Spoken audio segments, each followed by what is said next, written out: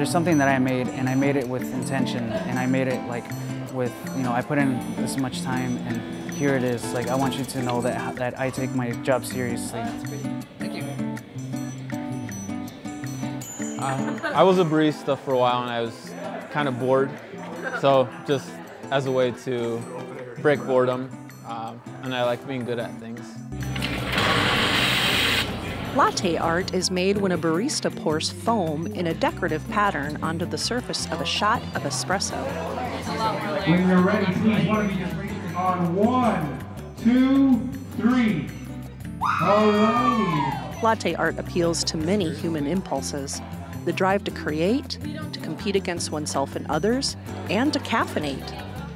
Latte art competitions, often called throwdowns, are popular across the country, and the events are popping up at coffee houses in South Dakota. Now, we've heard you're the man to beat tonight. I don't know about that.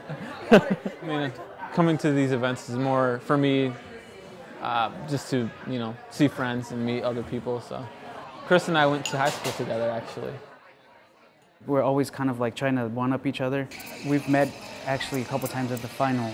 For instance, Sioux Falls, like out of I think 27 or 28 baristas, him and I were the ones in the final, and I ended up winning. It's more so friendly competitions, kind of helping each other be better too. So. Latte art events are lively contests.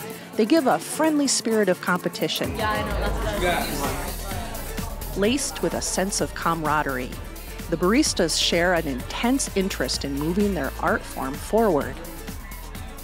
This is my first. Uh, I've been to another one, but um, I like that everyone's really like nerdy and excited about it, and everyone gets to kind of come together and like get excited and um, I don't know, get recognition for something they're good at that they might not get recognition for our places. You know, everyone's really pumped about this, and they should be. Dude, seriously, so good. For your first ever, that's seriously awesome. Gorgeous. Putting all the feels aside, this is still a contest. Head to head, bracket style, with three judges determining who will advance. The judges will judge based on a factor of things, including like um, like the level of difficulty of the pour, um, evenness, symmetry, contrast. One, two, three. Like you can bring your own milk pitcher.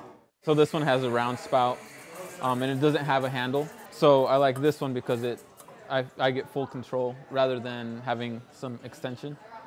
Um, I like this one because it has a little bit of sharper spout. If I wanted to do something more intricate, I would use this one. Working a pitcher filled with steam milk certainly takes a good deal of finesse. This is Elena Freeman's first throwdown. It's a chance for her to use newly acquired pouring skills. Well, I've got the milk down, but now it's just it's timing the the way the milk goes in. You have to make it like go off the bottom the right way, and then it's really easy in an eight ounce mug to spill. So that's probably the most challenging part for me. Maybe it's the caffeine circulating through the veins of the crowd. A high energy vibe is definitely present. Contestants ground themselves, step up to their respective machines, let some steam out, and work their magic on a milky canvas. Two, three.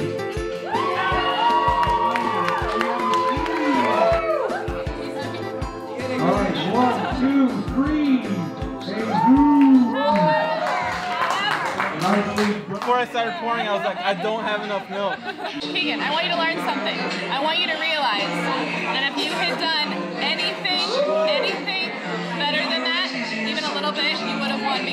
cup is that much fuller than his. So that was one thing. If it didn't fill the cup, it's kind of a customer service standpoint. I mean, if you're handed a cup that's not full, it's not as appealing.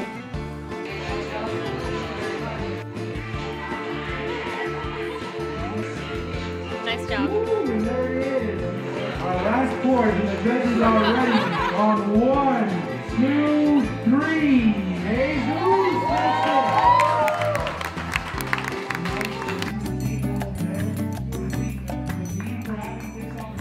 The customers that um, are very intrigued with coffee, they will um, sit down and they won't feel rushed. They'll um, wait a little extra for their cup of coffee. The outcome is just this magnificent, magnificent uh, cup of coffee, and that's why I think it's it's beautiful. That's the art of it.